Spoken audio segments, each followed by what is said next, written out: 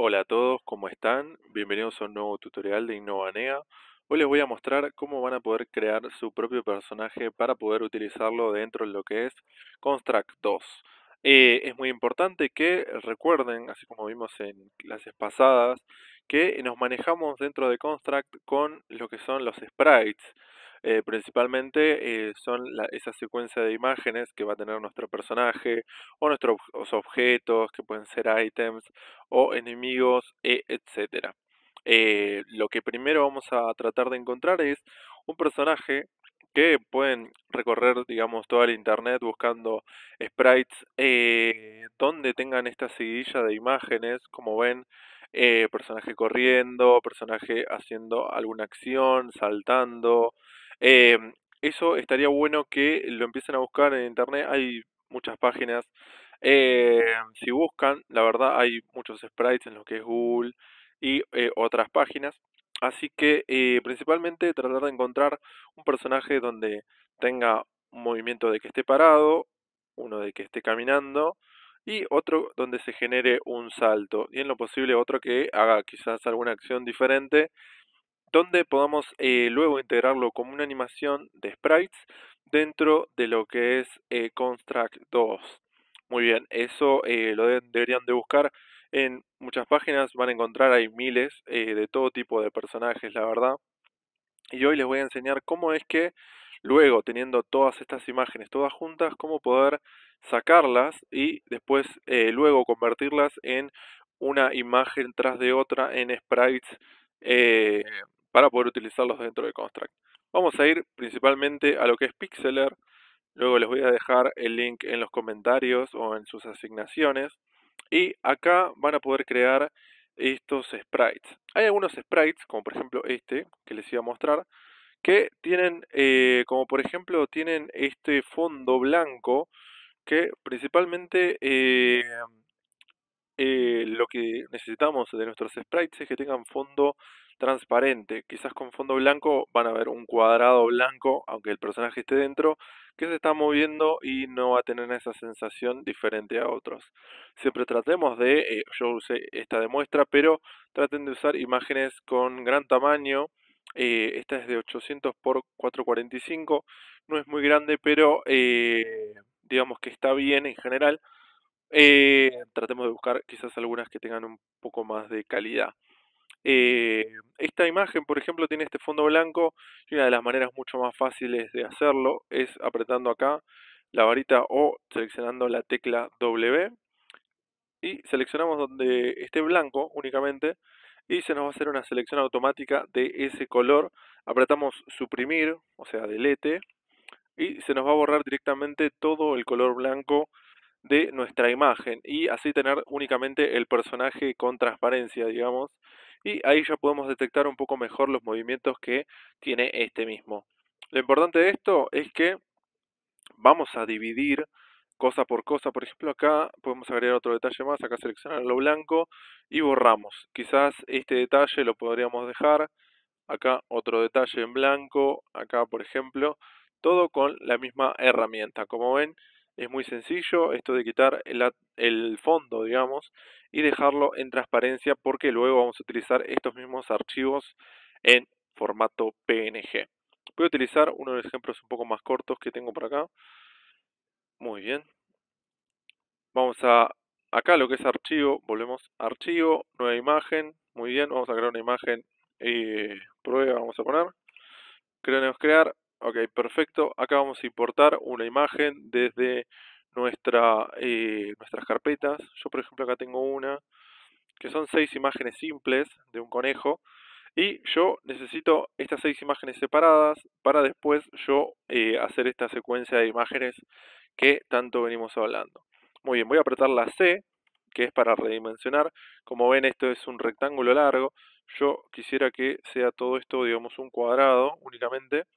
Muy bien, redimensionamos, como ven, apretamos Enter y ya nos queda directamente lo que es un cuadrado. Pero ¿qué pasa acá? Yo tengo únicamente una imagen y no tengo más.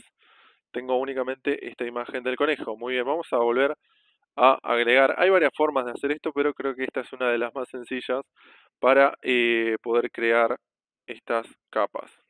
Muy bien. Esta es la secuencia grande que teníamos anteriormente. Apretamos la M, que es este icono de acá, o apretamos la N. Muy bien.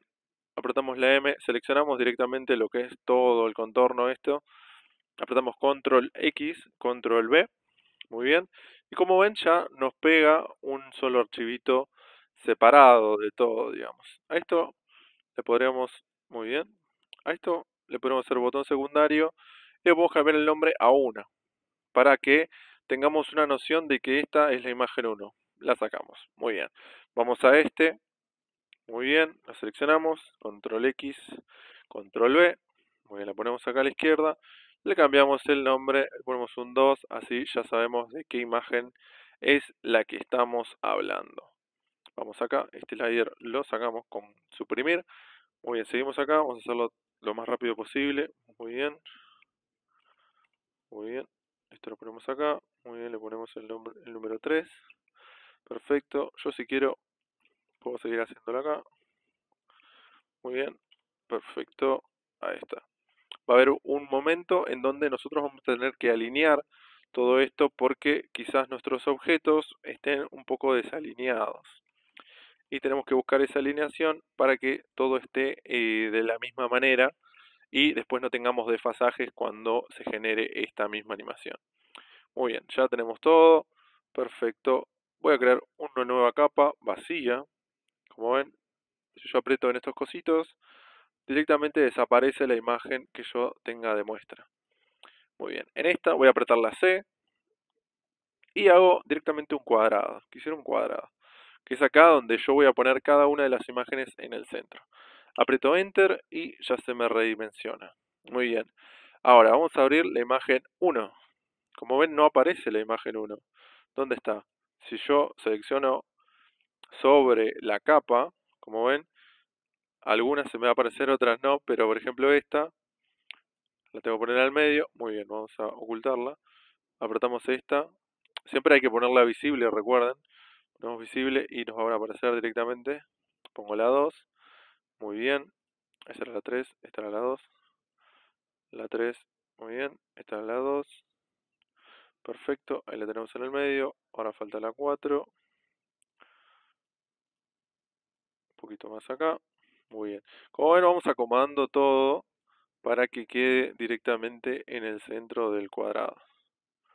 Muy bien. Este layer no es necesario. Perfecto.